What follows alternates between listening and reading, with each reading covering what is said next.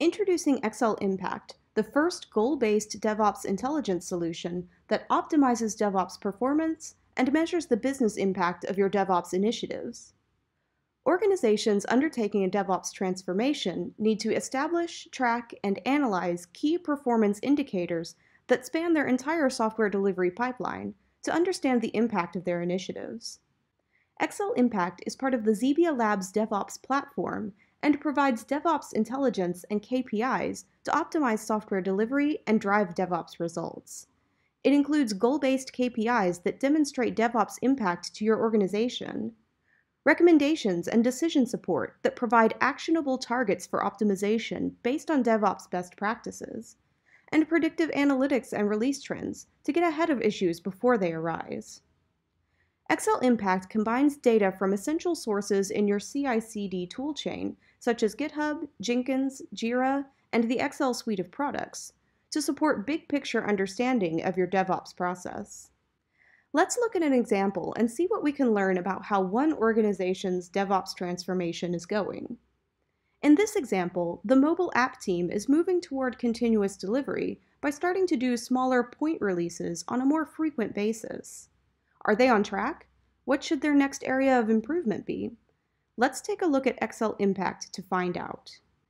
XL Impact organizes project data around common goals in the DevOps domain. For the mobile app team, a major goal is improve speed to delivery. The data analysis for each goal in XL Impact is organized into key performance indicators that help the team track their progress. Here at the top of the view are frequency and duration, which let me review how frequently the team is releasing and how long each release takes. The first thing I notice is that the frequency and duration trends are improving from our last period of development. So great, we're on the right track.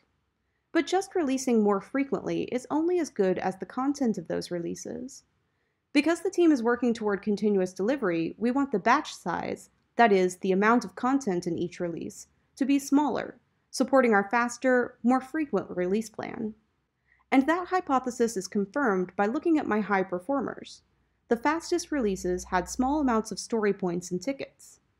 Now, it's possible that those fast releases were just fixes, so let's look at the content further. I'm going to switch my issues chart to types.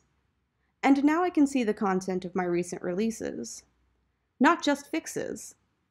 In fact, looking at some of those small releases, they included mostly stories. So in this case, the team is actually moving toward continuous delivery, releasing content in smaller batches at a more rapid pace. I will use this information in my next presentation to the business unit stakeholders to demonstrate our progress. There are more KPIs I could investigate here, but since overall the mobile app team is doing well on their goal to improve delivery speed, I'm going to check another goal. For many teams, it can be a challenge to change pace, moving to continuous delivery, while maintaining excellent quality. So our team is also tracking a second goal, increase quality for customers.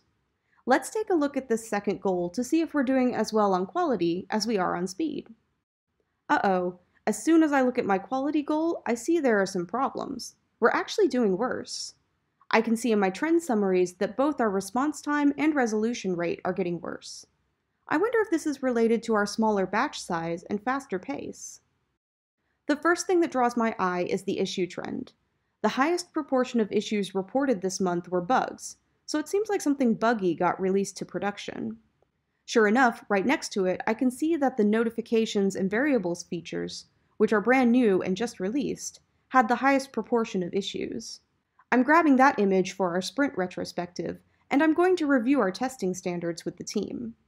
I do see that we had fewer issues reported this month, and those issues were further apart than previously. So while our response time is increasing and we're not responding to all issues created, it's not all bad. Investigating further, I can see on the severity breakdown charts that minor issues are decreasing while larger issues are increasing. It's possible that the team hasn't figured out how to incorporate fixes into their faster release pace. And actually, thinking back to my issues chart, there weren't many fixes there, just one or two in the last few releases. Now I'm ready to talk to the team. I have a sense of where we can improve and what we can target.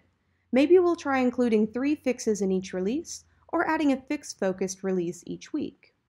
This level of trend analysis for each KPI helps me understand the weakest points in our DevOps transformation.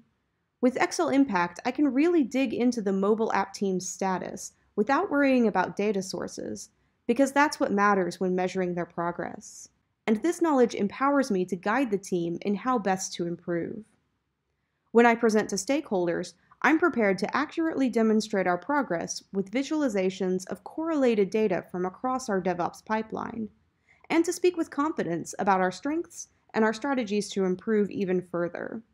XL Impact gives me the information and context I need to make an impact on our DevOps initiative. XL Impact is the only product that gives you goal based DevOps KPIs, data driven recommendations and decision support, predictive analytics that identify trends and highlight risk, and one control panel for DevOps impact and return on investment. Visit xebialabs.com and contact us to learn more.